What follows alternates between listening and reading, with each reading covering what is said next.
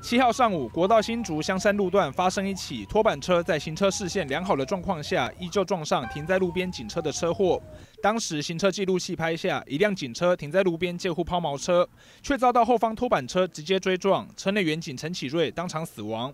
根据警政署统计，从民国一百零三年到一百零五年这三年，因为警车事故造成的远警伤亡总共两百八十五人，而且人次一年比一年多。立委归因于警车配备简陋，跟远警没有受到足够的训练。你可以看到美国警车，好，你会看到至少前面都会有一些防撞、防撞的强化的装置在那里。不是外国的月亮比较圆，台湾警车的脆弱从预算就看得出来。警政署表示，各地方政府平均每年购买近六百到七百辆警车，每辆预算六十万元。但从安全的角度来看，警车上只有前座的两个安全气囊跟胎压侦测两配备，但这些配备连一般民众开的自用车都有。前阵子还有个争议哈，就是到底就是遇到嫌犯的时候，你要不要去追他？嗯，我看听完以后，我觉得不要去追他。好，你的配备如果比人家差。那你本身的安全的这个还有训练，那我们凭什么要警察？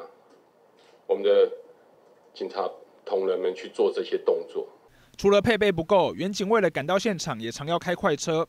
警政署提供的训练却只有在校时的静态讲课，现职远警每年只提供八百个安驾训练名额，而且每次只有一天。如果你要全国的远警都训练，当然它经费看起来会很高。可是我们如果讲一句非常难听的话，今天有一个同仁殉职了，你给他的那一笔抚恤金，可以让一两千名同仁去受训五天。对于车辆安全性不够，警政署解释是因为经费有限。